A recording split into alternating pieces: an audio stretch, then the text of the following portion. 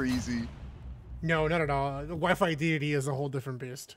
It's one thing offline, but Wi-Fi DDD just a pretty rough character to play against. We'll see. We'll see. I'm already kind of worried if Zenyou gets put at the edge. Uh, just has a lot of really, really good ways to edge guard Cloud, and uh, I'm sure Atomsk knows a lot of them. yeah, especially with Cloud's recover being so susceptible to being edge guarded that way. So yeah, we'll see how Zenyou's able to handle it. He was able to handle burst really well, but it's one thing to play against Yoshi and DD. There is the back door for positioning and the immediately sliding forward tilt. Yeah. Zenyou yeah, so far though. Yeah, so far so good for Zenyou. Mm -hmm. Playing very well. Yeah, he's gotta watch his landing. I like it how he knows. I gotta go more towards the ledge, find my way back center stage, forward smash, not safe on shield. It's decent punish there from Atomsk. Just gets the back door for positioning and tries to get the grab after the Gordo. Oh, nice down tilt. Has him exactly where he wants him. Oh, he's dead. You are right. You had him right where he wanted him. Man, that was really good timing with the jet hammer. I think I think Zenyou might have actually been able to delay his up B a little bit just so he could snap, but that was still a very hard position to be in regardless. Okay, game with the Gordo at the ledge. Oh, oh down the down tilt, back at it again. Going yeah. for it? Mm. Oh, that hit so consistently. So the delay on on the Climhazzard is very, very timing and specific based. Because if you do it wrong, your head will still stick out from Climhazzard, and you'll get punished just the way that Atomsk is having a field day right now on Zenyou. Yeah, we'll have to see it. Probably the best use of Jet Hammer we're gonna see in this type of matchup. Yeah. Oh, working on three stock here. Even going for the dash attack too to catch another opportunity on Cloud's recovery. It just seems like even outside the jet hammer, yeah, DG just has a lot of ways to edgeguard this character, and there's the forward air with no jumps. Just really, really dominant game from Atomsk. Yeah, with the, JV.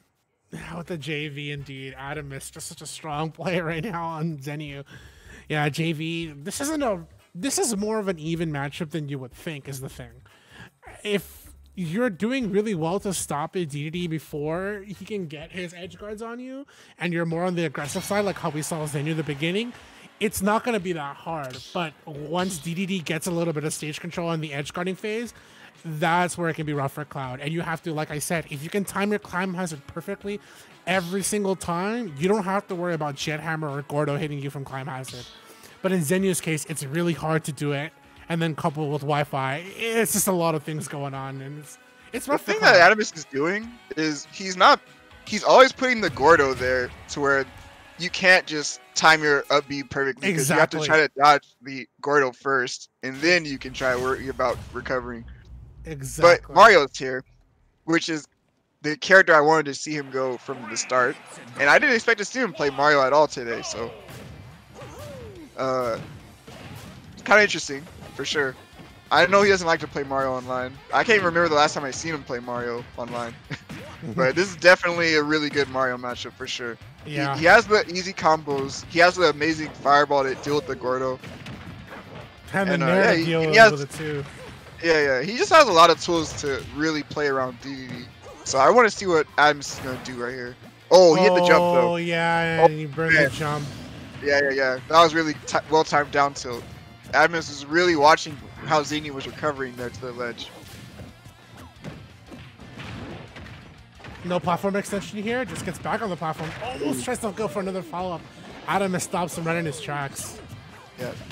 Yeah, Zenyou really wants to uh, take advantage of this platform layout when he can. Like, DD's already going to get comboed for a very long time regardless, but nature of the platform is going to make that last even longer. Oh, looking Ooh. for a grab with the with dash dancing here. Oh, then you have to go for the extra recovery to avoid every aerial. Oh, oh. no. Atomsk didn't want to grab the ledge again. Uh, was definitely ready to get the, the kill on that.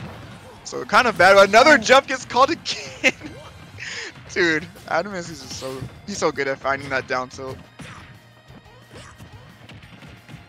The timing for down tilt too, and it has some decent amount of active frames. That's what's so good with catching jumps and two framing as well.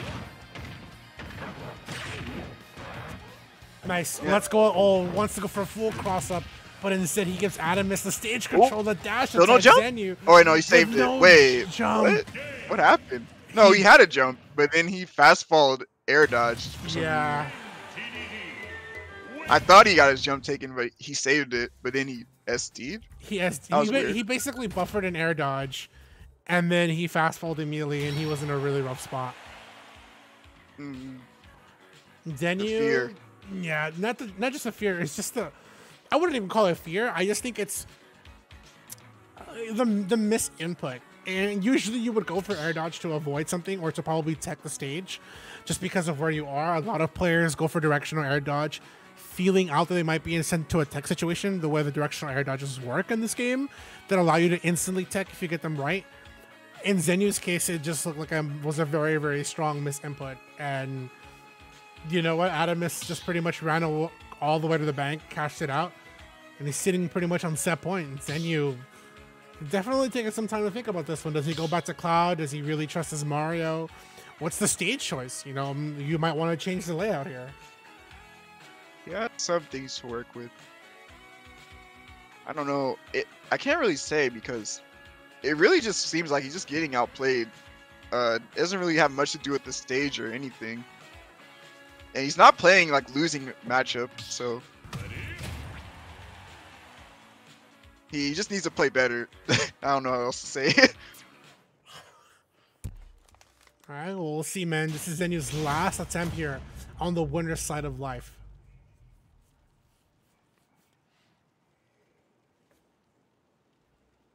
I'm assuming. Oh, okay, okay, town. Okay, I expected either battlefield or town. Yeah, yeah I, I, really... I expected a stage change for sure. Yeah, this is a really good pick. If he can get, you know, combo starters. He's been playing pretty passively, honestly. More than I would expect for Mario in this matchup.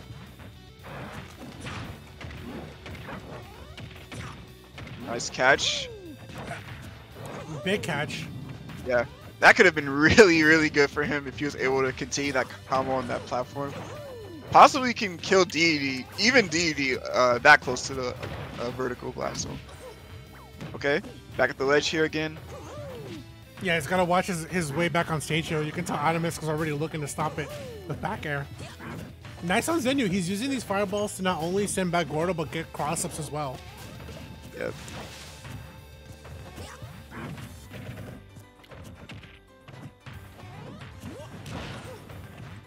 Man, Adam is very good at just sneaking in these grabs when you suspect it. Oh, caught the jump. Not dead, dude. He's at a pretty rough spot. Nice. Using the up B to get past that potential edge guard. Oh, so scary. Oh, and he got the, the bait. That was so good.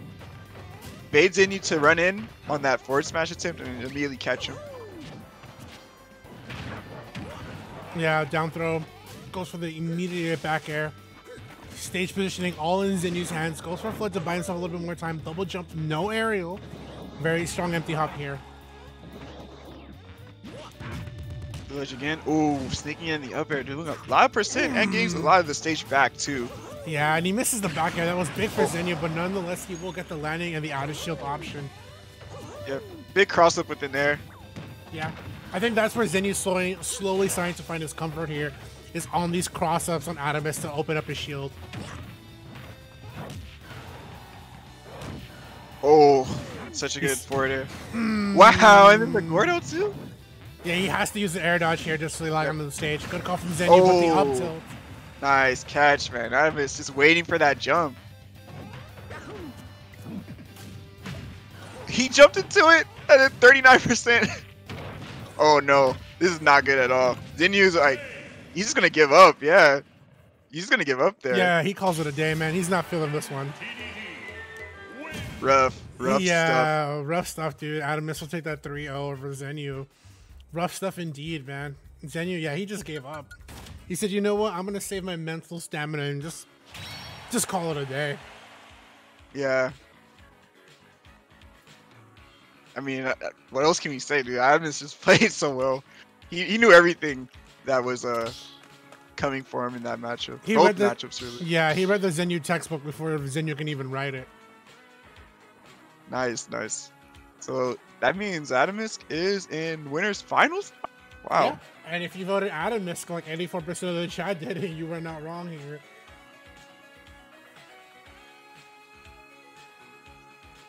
Great stuff. Great stuff to him.